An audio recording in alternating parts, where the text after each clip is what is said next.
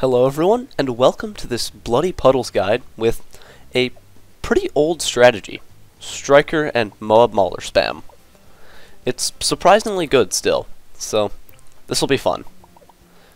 First, we gotta place this sub right over here. You have to place it specifically so that the range border goes through this circle right over here, the circle in the wheel, so it goes through the top part of the car right over here. And so that it barely touches the grass right over here on the right. This is one of the hardest placements in the entire game, so if you do it, good job. And then this dart monkey is much easier than the sub, but it's still not easy, so let's see. The range border has to barely touch these tire treads right over here, and it also has to barely touch these tire treads over here. And then you have to set it to last, 100% required. If you've gotten both of these placements right, and trust me, it is difficult, so it will definitely take you a few attempts, you should be able to beat rounds 6 and 7. Even if you beat round 6, you won't be guaranteed to beat round 7, because the sub placement could still be a little bit off. And then for round 8, set your Dart Monkey to first, and then place another one right over here, as left as possible, and you want the bottom side of the range border to just barely touch the edge of this little puddle right here. And set this dart to strong.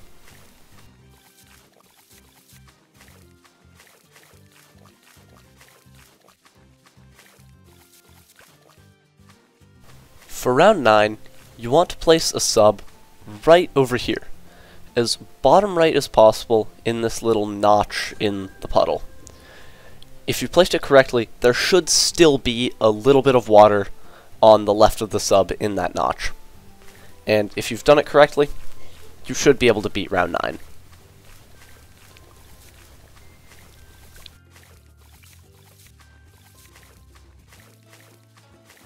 Round 10 is pretty easy.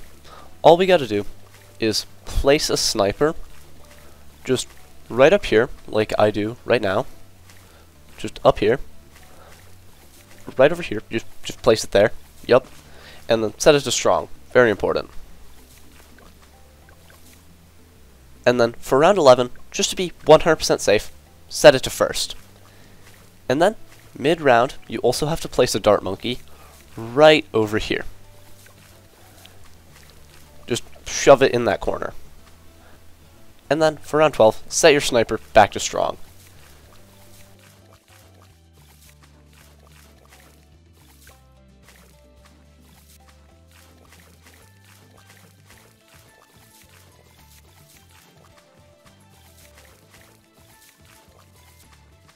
For round 14, place a sniper right over here, just in the middle, and then set him to strong. And then after the end of round 14, you have to do it after it ends just to keep sniper shot timing consistent for 15. Place a sniper right over here and set him to strong as well. And then you're going to want to micro your top left sniper by setting it to first when you reach about 265 to 270 cash. 15 always looks very close, but I've never lost to it using this micro and this setup. So yeah. And then set your sniper back to strong, and then upgrade your top right sub to longer range for 16. And then also get intel as soon as you can on 17. Some people will leave the sniper they microed on first for round 17 as well. Sometimes it can be more consistent, but it caused me to lose while recording, so I got mad and uh, kept it on strong. Yeah. Uh, anyways, for round 19, upgrade your sub to twin guns. And then, after round 20, which shouldn't be sketchy, I don't know why I'm slowing it down here, you want to place a dart monkey right over here, just slightly to the top left of this little puddle right here. And you also want the range border to touch the inside of the track right here, but that isn't entirely needed, just to the top right of that pool that small puddle, and then this guy should just go right between the two tracks there. If you place them correctly, the ranges should overlap almost, but not quite. And then 21 can be a little bit sketchy, so if you feel scared, micro a sniper to catch a balloon. Just set it to first and then set it back to strong when you feel like you're safe. And then this middle sniper will upgrade to full metal jacket on 22. 22 should be beaten with no problems. You shouldn't have to micro, but if you feel like you do have to micro one of your snipers, do that. And then for 23, place another dart monkey right over here, and set both of your middle darts to strong. This round can always look a little bit sketchy, but it's very rare that you lose to it. This doesn't usually happen. For 24, just get camo on your sniper. Your top left sniper, that is. And then for 25, we do have to do a little bit of sub-micro. When the purples come, it will shoot two shots on the left, and then you want to switch it to close. And then be ready to micro your bottom left sniper. You shouldn't have to, though. You definitely shouldn't have to. And then set your sub to first for 26, and the rest of the run. And then get airburst, in the middle of 27. Now the run gets significantly easier. The hard part is mostly over. And then for 28, you should be fine. I've never lost to this round, but it can look a bit sketchy. And then before 29, just place Striker right over here in the middle. The reason why we place him here is so that his buffs can be applied to as many bomb shooters as possible in the future. And then for 31, upgrade your camo sniper to a full metal jacket as well. And you could use a stun ability from Striker if you feel scared for whatever reason, but you should not have to. Like, you really shouldn't have to.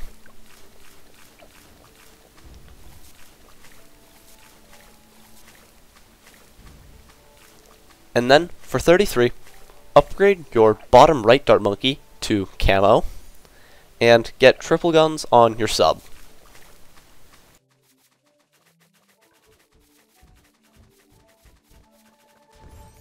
For 35, we are now going to place a bomb shooter right over here.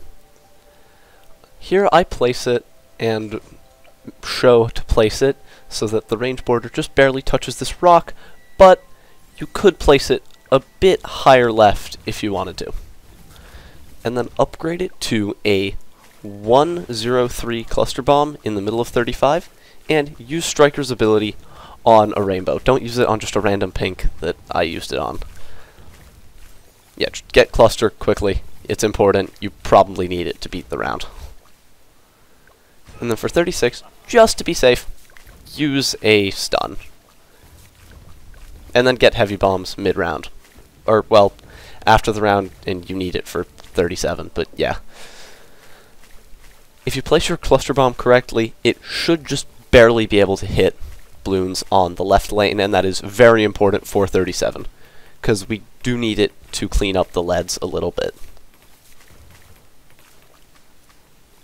And if you get scared for whatever reason, just use a shell, or a stun ability.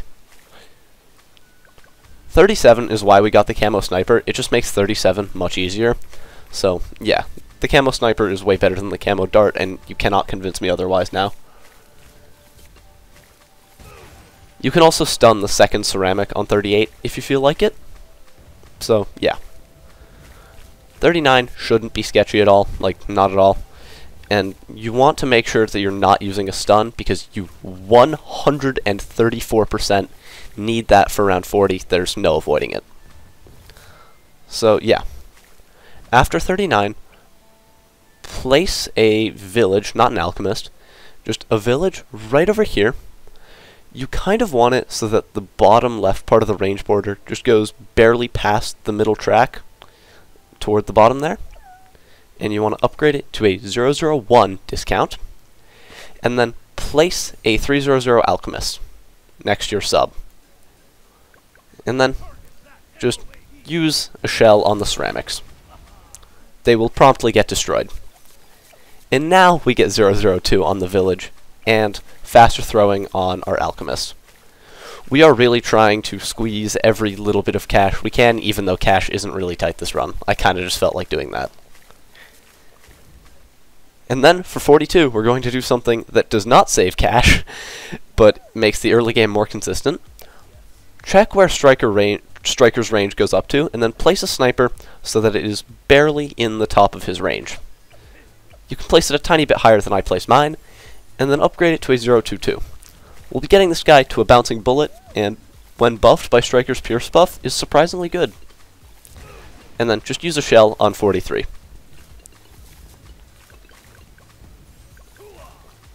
But yeah, as I was saying before, Bouncing Bullet with the Striker Pierce buff is surprisingly good now, and is honestly just a very strong mid-game tower for Bloon cleanup especially.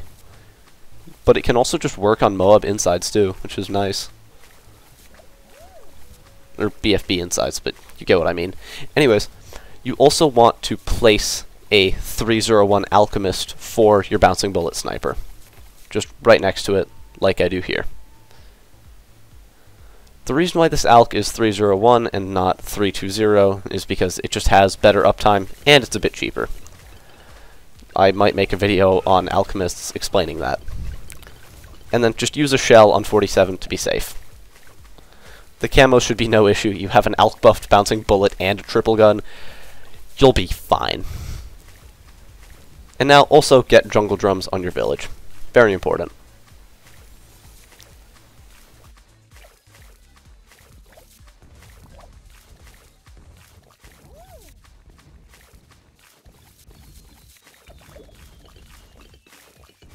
And now we'll be placing the tower that ends up being the most important one in the entire run.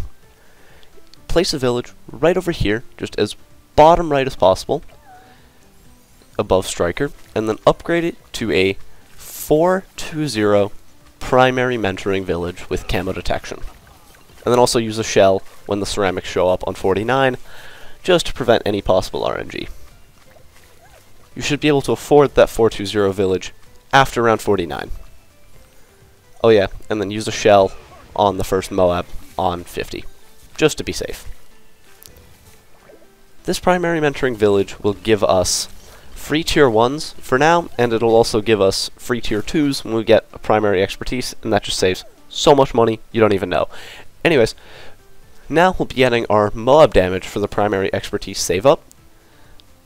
Place two 130 Moab Maulers just right over here below your cluster bomb.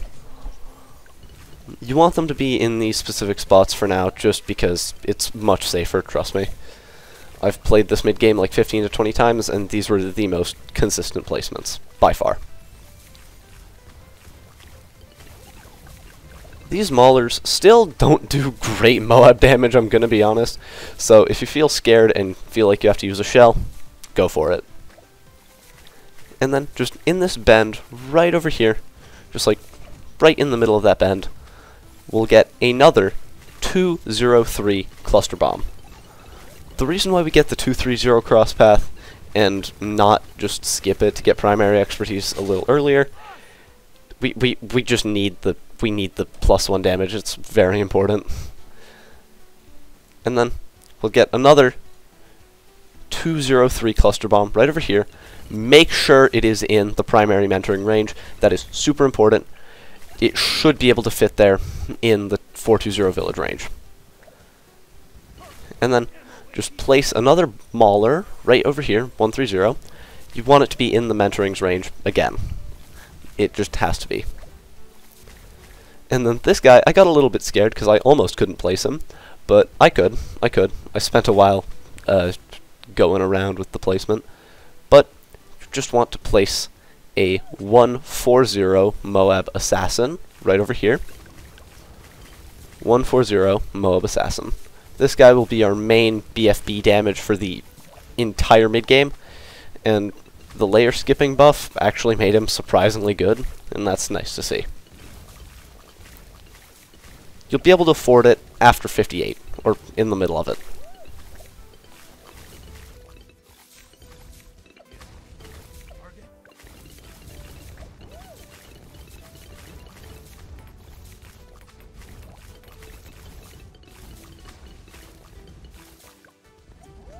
On round 60, if you want to, you can use the Moab Assassin or the Striker Stun. Doesn't really matter. 61 should get destroyed, even though it's on the outer track, and outer tracks are very scary on bloody puddles. 62 also gets destroyed. Fortified Moabs are a bit of a recurring issue in this save up, so yeah, if you feel like you have to use an assassin for one of them, do it. And then for 63, just use a stun for the first two waves, or if you'd like, use it for all three. I don't use it on the last wave, so I could have it up quicker on 64, but you don't really have to do that. I just recommend not using the stun on the last wave. You shouldn't need it, though. You'll be fine. You'll be fine without it. Three clusters and a bouncing bullet is super good. And then, when you see a fortified Moab on 64, use an assassin, use Striker's level 10 to get the cooldown back, and then use it again. I didn't actually end up using the stun on 64, so yeah, go ahead and use it on the last wave of 63.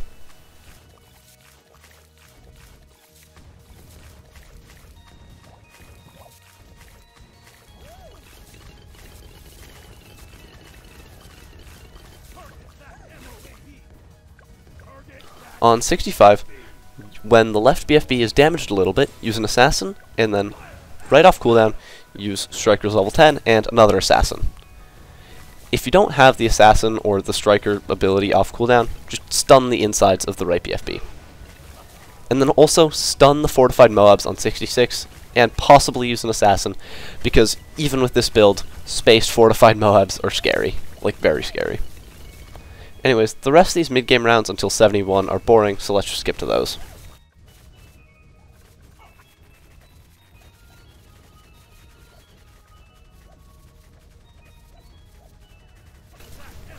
Seventy-one is also pretty easy. Just use the stun when the big wave of Moab comes out. You'll be fine. The insides get promptly destroyed by our clusters and our bouncing bullet.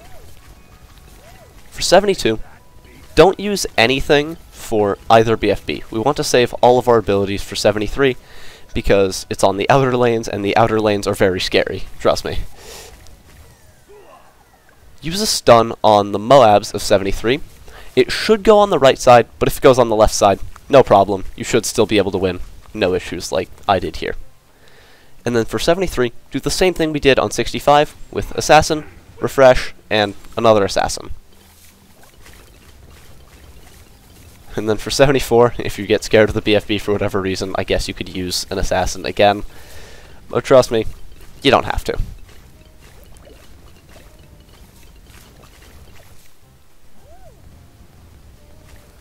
And now, at the end of 74, we'll finally have enough money to get the most important tower of the entire run. The primary expertise. This tower is the only reason why this strategy even has any chances of working on this map. So yeah. And now, get those free tier 2 upgrades on your bomb shooters. It's free, and they don't hurt. And also on 75, if you want to use an ability, if you're scared for whatever reason, go for it.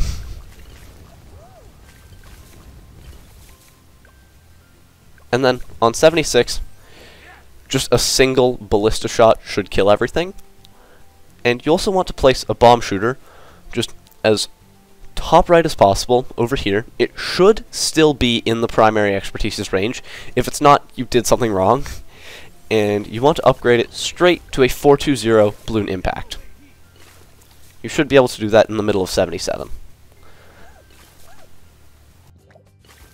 Because it's the outer lanes and the outer lanes are terrifying, we still have to use abilities on 77 do the same assassin refresh assassin thing that we did on 65 and 73 on 77, just to be 100% safe.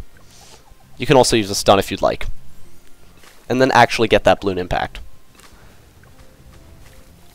And then get another Bloon Impact right over here as top right as possible while still being in range of the primary expertise. It is so important that it is in the primary expertise range and yeah, you just want to make sure it is. That's very important. And you'll be able to afford the second Bloon Impact in the middle of 78. Also, surprisingly, these Bloon Impacts are our only ceramic cleanup in like the entire run. I guess the relentless glues help out a little bit, but the impacts are really just crazy, you know? They're that good. And now, just get rid of the obstacle. You have to get rid of it twice. The first one is 1,000, and the second one is only 500. So, yeah, 1,500 to remove the big obstacle in the middle. Very nice. And now, all we're going to do is place a few more maulers, and then get a few supports online, and then just spam a lot of maulers. The first mauler we're going to place is one right over here, just as top right as possible, and upgrade it to 230, as you will with the rest of the maulers. And then get another one over here. And then another one over here.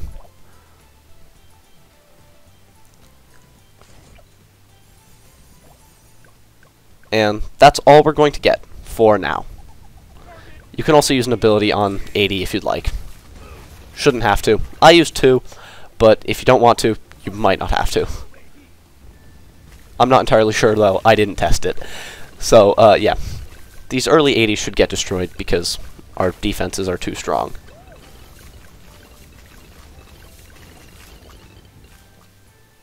And now, for 82, place a Moab glue right over here, above your cluster bomb in the primary expertise range, 023, and set it to strong. And then just another one right over here. Just, just shove it as top right as possible next to your third mauler on the right. And then get both of these guys to Relentless Glues. These guys also help a little bit with Ceram cleanup, but I'm not entirely sure they're needed for that purpose. They are needed for the Moab insides, though. The insides of BFBs, as we don't have that much Pierce to be able to handle them, even with striker buffed Moab Maulers. It's still not enough a lot of the time. So we're just getting these Relentless Glues to be safe. And now, spam 20 total Maulers.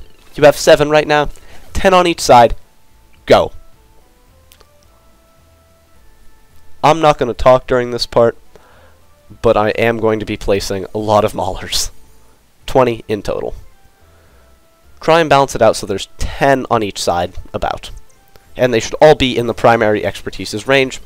230 and set to first. So, yeah, have fun with that. You should be done placing them at the end of 89 or at the end of 90. I don't really remember.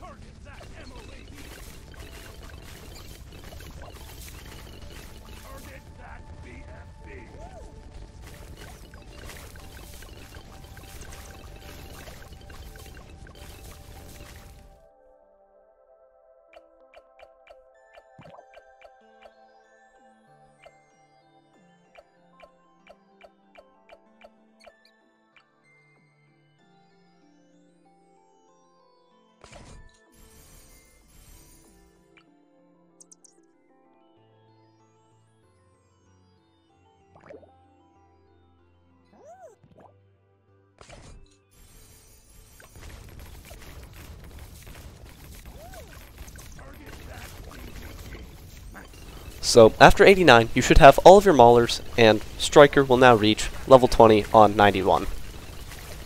And now, just upgrade 8 of them total, including the one we got for the mid-game, to Assassins. Just get 8 Assassins. You can probably get away with more, but uh, you, you don't have to. 8 is the only required amount. And then for 93, use Striker's level 20 ability when the DDTs show up. If you don't use it, you definitely lose, but if you do use it, the DDTs will get, like, two-shot. It's kind of crazy.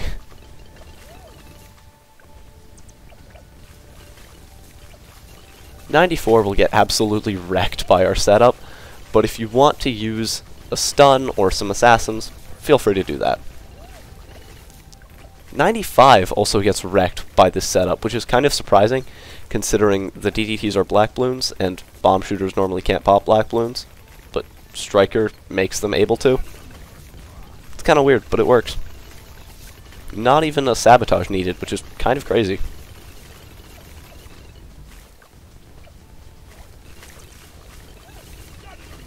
You should be able to afford your 8th assassin in the middle of 96, and now you can stop getting assassins here if you'd like.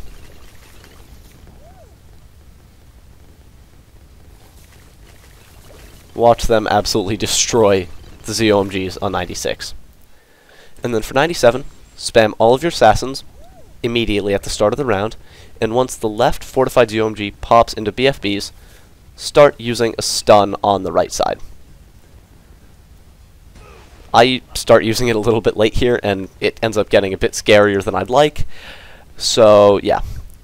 You also want to try and stun the Moab insides if possible, because they're scary. They're very scary. Especially if you don't have a primary expertise missile going at them. And then on 98, wait a few seconds, spam all 8 assassins, and now just spam stun until the end of the round.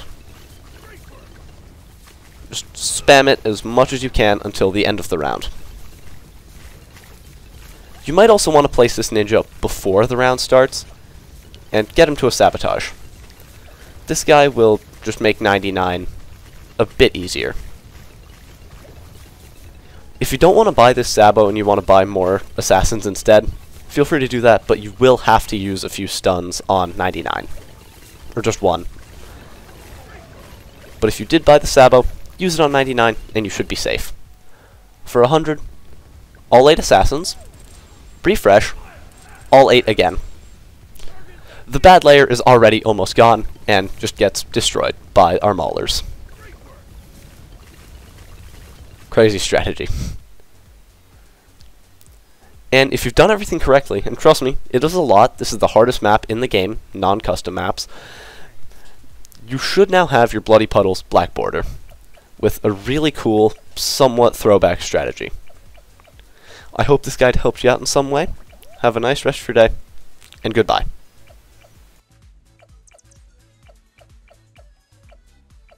I'm also in the process of making a video on why Spectre sucks, and it might be my 3k special just because I don't like that tower that much.